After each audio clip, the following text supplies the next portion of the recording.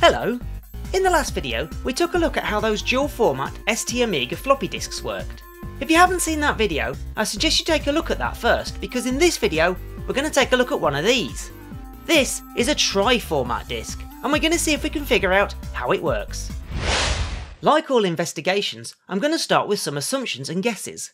The Atari ST and the PC both use the same file system on floppy disks, FAT12. The dual format disks couldn't be read by the PC, probably because they were using 10 sectors per track rather than the standard 9. My guess is the Atari ST and the PC will both share the same file system, i.e. the same folders and files, but maybe each one has its own folder. However, I suspect that all of the content for the Atari ST will be on the lower side of the disk and the PC the upper. Dividing that three ways, I guess the Amiga content will consume the rest, assuming it gets two sectors on track 0 and some on track 40. So, let's have a look. Once again, starting with DiskFlashback, that's always had support for dual format disks, you can see it's detected two file systems and made a drive for each. One for the Amiga, which looks exactly like it should.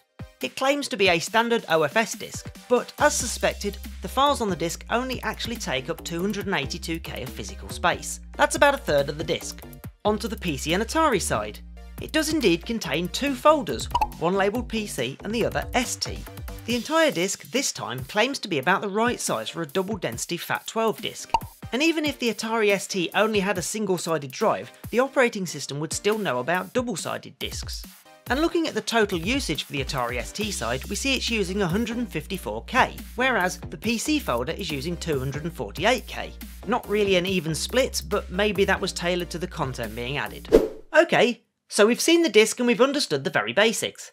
Let's dig a little deeper now I've dumped a copy of the disk to the computer, so let's start with this image showing the sectors on the disk.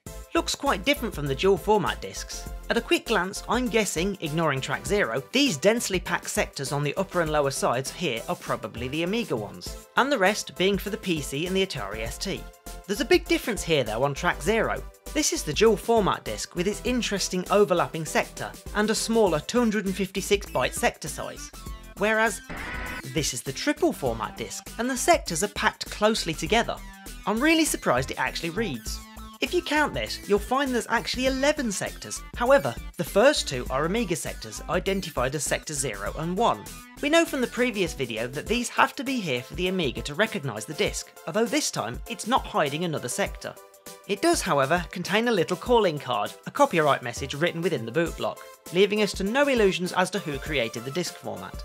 The remaining 9 sectors, which is the normal amount for a PC disk, are actually normal PC sectors, although the sector order is a little odd, not that that really matters. I'm not going to show you the remaining tracks because, as suspected, they're either tracks containing just Amiga sectors, or the tracks containing FAT12 sectors with nothing clever about them at all. Now, the Amiga side of things isn't really going to be any different from last time, except that instead of only using the upper side, it's also using the lower side too. It may well have been that the Amiga content went on last, filling the spaces left over from the PC and the Atari ST content. But what I want to know is did they restrict the Atari ST content to just the lower side, and the PC to, well, maybe both sides? To find this out, we're once again going to have to have a deeper look at the file system. The first thing is to check what the BIOS parameter block for this disk looks like, with it being spelt correctly this time. And this is the set of parameters from the dual format disk from last time. There's also a small correction, because I had the number of sectors per cluster wrong. And this is the set of parameters for the triple format disk. A few things of note. The number of heads is now obviously set to 2, and therefore it's no surprise that the total number of sectors has increased as well. To remain compatible with the PC, we have 9 sectors per track instead of the previous 10, but only 3 sectors used for the file allocation table. Given the number of files on the disk, that seems perfectly fine. So the main thing I want to do now is to have a look at the directory structure, and, including the directory listings themselves, see what clusters the files use. If this disk was designed maybe to work with a single-sided drive, then I'd expect all the clusters for the ST content to be located on the lower side of the disk. So, let's take a look. So this is a representation of the PC and ST side of the disk if it was extracted on its own. Each square represents 9 sectors. The left side is the lower part of the disk and the right side the upper. Firstly, I'll add the main file system root block containing the BIOS parameter block. These sectors contain the file allocation table, or FAT, and there's two copies, and these entries are reserved for the directory root block. These sectors now being marked in red are the reserved and bad sectors, and it should come as no surprise that there's a load of them around track 40 on the lower side, where the Amiga stores its files, as well as the latter half of the disk, which we also know contains Amiga data. These sectors, marked in grey, are marked in the file system as unused. Now, onto the files. The cyan colours here represent the sectors that hold the directory at the root of the disk. These sectors in light green are the directory blocks and entries for the files and folders representing the PC folder and anything inside of it. And these sectors in dark green are all of the files for the PC part of the disk. Now onto the ST side. These sectors in magenta are the directory entries for items located in the ST folder of the disk. And finally, these darker purple sectors hold the contents of the files for the ST side.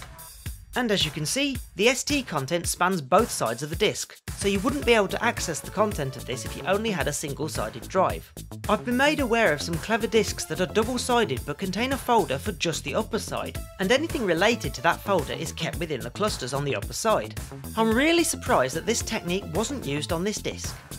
Well, that wasn't as complex as my last video, and to be honest, I'm a little bit disappointed. I honestly thought the discs would have used the same tricks to keep the ST part to the lower side. Maybe by the time these discs came out, double-sided drives were much more common on the Atari ST. I actually think that in some ways, this disc format is a lot less complex than the dual format discs. Anyway, this concludes my little series on disc formats, and I hope you found it interesting. So don't forget to hit that like button, subscribe, and maybe consider my Patreon too.